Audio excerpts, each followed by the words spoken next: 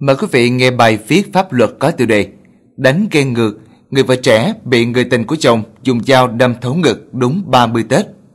Trên nhiều trang mạng xã hội trong vài ngày gần đây đang lan truyền câu chuyện được cho là của một cô gái trẻ tố cáo bị người tình của chồng dùng dao đâm thấu ngực và nhiều nhát trên cơ thể khi đến gặp gỡ để nói phải trái. Những dòng chia sẻ được đăng trên Facebook có tên là Lê N. Cô gái này kể Hôm nay em trải lòng trên đây mong các mẹ đừng ném đá. Con em được 11 tháng rồi, chồng em đã có một thời gian ăn ở và cặp bồ bên ngoài khi em đẻ. Em tha thứ bỏ qua. Nhưng đêm 29 Tết đã bỏ em và con ở nhà rồi lại đi với nhau. Chiều 30 Tết, em cấp cứu phải mổ hai lần vì bị bồ của chồng em dùng dao Thái Lan đâm bảy nhát. Chủ tài khoản còn nói rõ, mỗi lần một cắt thận trái, cắt nách, đứt đùi tụy, lũng phổi và một dao trượt tim. Bác sĩ mỗi lần hai gọi người nhà vào nhìn mặt lần cuối vì khả năng sống chỉ còn 5%. Em thiếu máu trầm trọng và không truyền được máu đông của bệnh viện. May sao em chịu được máu tươi. Người này cho biết thêm, sau 5 ngày thở oxy, thông dạ dày, dẫn lưu màng phổi, đến mùng 6 Tết chị mới được rút ống. Tạm thời chị đang phải ăn cháo và vụ việc đang được trình báo cơ quan công an. Những dòng chia sẻ của Lê N đã gây chú ý của rất nhiều người theo dõi trên mạng.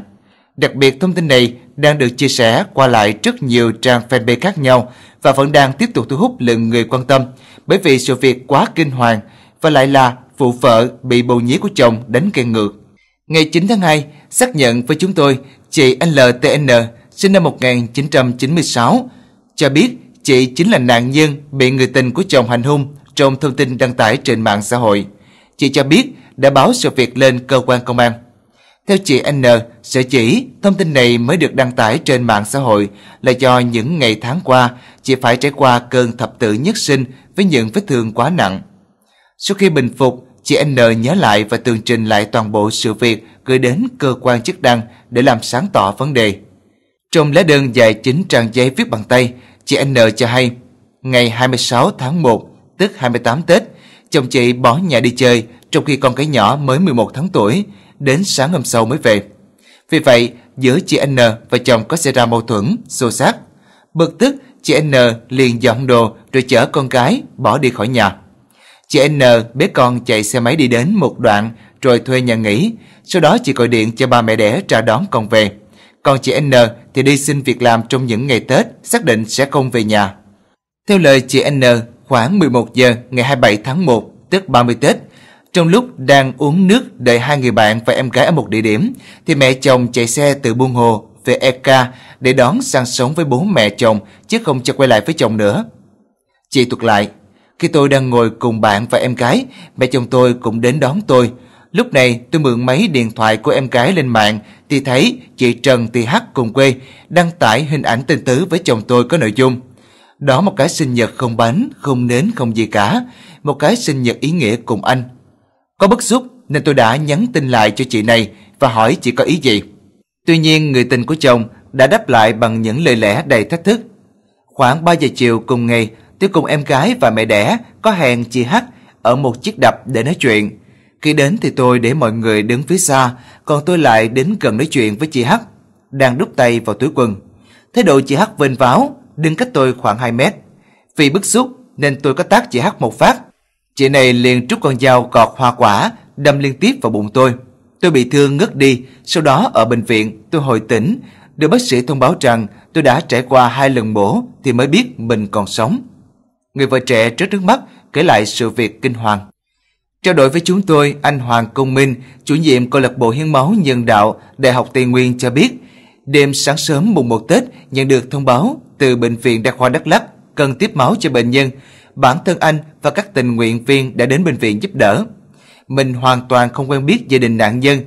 Sáng sớm mùng 1 Tết Nguyên đáng, bác sĩ ở bệnh viện gọi nhờ mình giúp đỡ ca cấp cứu cần nhóm máu O. Mình kêu gọi bạn ở câu lạc bộ đi lên giúp ca này. Sau khi tìm hiểu về họ thì rất thấy đáng lên án về hành vi của người gây ra sự việc.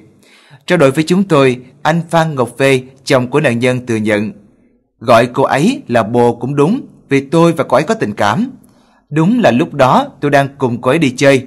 Tôi không dùng Facebook Bà vợ tôi vào Facebook của cô ấy thấy sự việc nên đã xảy ra chuyện này. Bây giờ tôi rất ân hận và đang ở bên để chăm sóc vợ. Theo lời của người chồng này, trong những ngày xảy ra sự việc, anh đều ở bên người vợ để chăm sóc. Khi vừa xảy ra sự việc, phía gia đình, cô người tình có đến bệnh viện đưa 3 triệu để lo viện phí, nhưng mẹ vợ anh không chấp nhận. Anh phải nói, tuy nhiên, hôm xuất viện, gia đình họ đã đến nộp 20 triệu tiền viện phí cho bệnh viện. Sáng 9 tháng 2, trao đổi với chúng tôi, cán bộ điều tra công an huyện Eka, tỉnh Đắk Lắk cho biết, ngay sau khi xảy ra sự việc, đơn vị nhận được báo cáo từ đồn công an thị trấn Ekanop. Hiện tại công an huyện Eka đang tiến hành xác minh thu thập tài liệu để điều tra làm rõ vụ việc.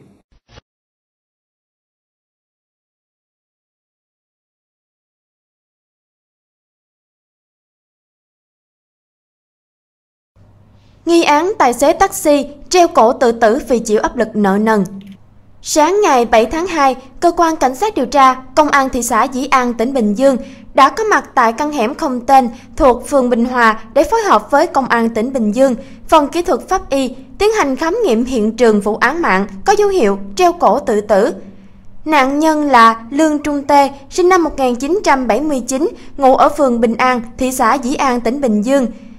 Theo như các nhân chứng hiện trường, thì khoảng 4 giờ sáng, nhiều người dân đi qua miếu thầy cai ở phường Đông Hòa, thị xã Dĩ An, tỉnh Bình Dương, thì phát hiện một người đàn ông treo cổ trên cây đẹp. Ngay lập tức, sự việc được báo cáo và công an đã tới nơi làm việc.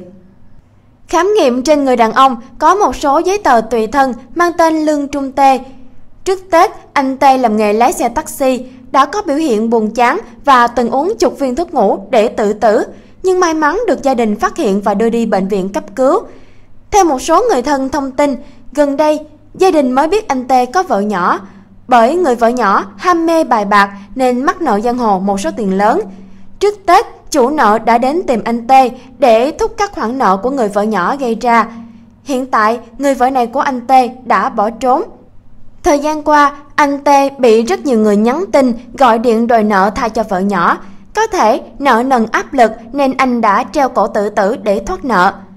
Tới khoảng 8 giờ 30 cùng ngày, cơ quan công an vẫn đang tiến hành khám nghiệm tử thi để điều tra nguyên nhân vụ việc.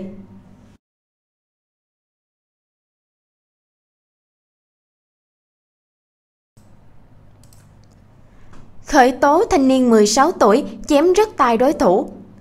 Ngày 8 tháng 2, cơ quan cảnh sát điều tra công an thành phố Hồ Chí Minh cho biết đã khởi tố và bắt giam Lê Chấn Hiệp, 16 tuổi để điều tra về hành vi giết người. Theo thông tin ban đầu, vào 21 giờ 30 phút ngày 27 tháng 1, Lê Chấn Hiệp ngồi uống bia với một nhóm bạn tại một quán nhậu trên đường Nguyễn Văn Của, thuộc phường 13 quận 8. Đến 0 giờ ngày 28 tháng 1, nhóm của Hiệp đến Đình Bình Đông chơi, sau đó trở về chỗ cũ ngồi uống nước. Đến 3 giờ 15 phút cùng ngày, Ngô Hồng Sang, 27 tuổi, chạy xe máy đến bàn của nhóm Hiệp đang ngồi, chỉ tay vào nói, khi nãy thằng nào kênh tao, Tao chứ không phải ai đâu, đụng vào tao là đổ máu. Nói xong, anh lên xe bỏ đi. Do nhóm của Hiệp không gây gì với Sang, nhưng anh lại vô cớ gây chuyện, nên Hiệp hỏi nhóm này đang ở đâu để tìm chém. Rồi Hiệp gọi những người trong nhóm chuẩn bị mã tấu và cùng nhau rảo quanh khu vực đường Bình Đông, phường 13 quận 8 tìm đối thủ. Phát hiện Sang đang ngồi trên xe máy trước một con hẻm trên đường Bình Đông. Hiệp rút mã tấu định chém nhưng Sang bỏ chạy, Hiệp cầm mã tấu chạy theo để truy sát. Sang chạy được một đoạn thì bị vấp bật thềm tại một chung cư gần đó và bị ngã. Lúc này, một số người trong nhóm của Hiệp cũng chạy theo dùng nón bảo hiểm đánh. Hiệp xông đến chém, anh Sang đưa tay đỡ. Hậu quả là tay trái của nạn nhân bị đứt lìa, tay phải bị đứt sâu. Sau khi chém đối thủ, nhóm của Hiệp lên xe bỏ chạy, vứt mã tấu trên đường rồi thuê khách sạn lẫn trốn. Nạn nhân được người nhà đưa vào bệnh viện để cấp cứu và đến công an trình báo sự việc. Qua truy xét, công an quận 8 đã tạm giữ Lê Chấn Hiệp về hành vi cố ý gây thương tích. Tuy nhiên, xét thấy hành vi của Hiệp có dấu hiệu của tội giết người nên chuyển toàn bộ hồ sơ lên cấp thành phố để điều tra theo thẩm quyền.